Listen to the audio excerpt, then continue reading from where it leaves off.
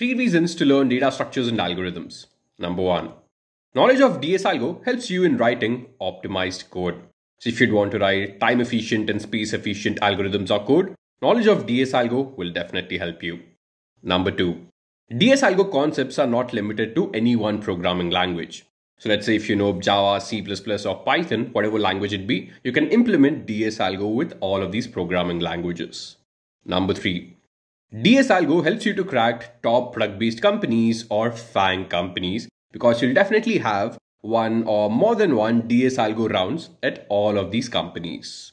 So folks, do follow our channel. Thank you.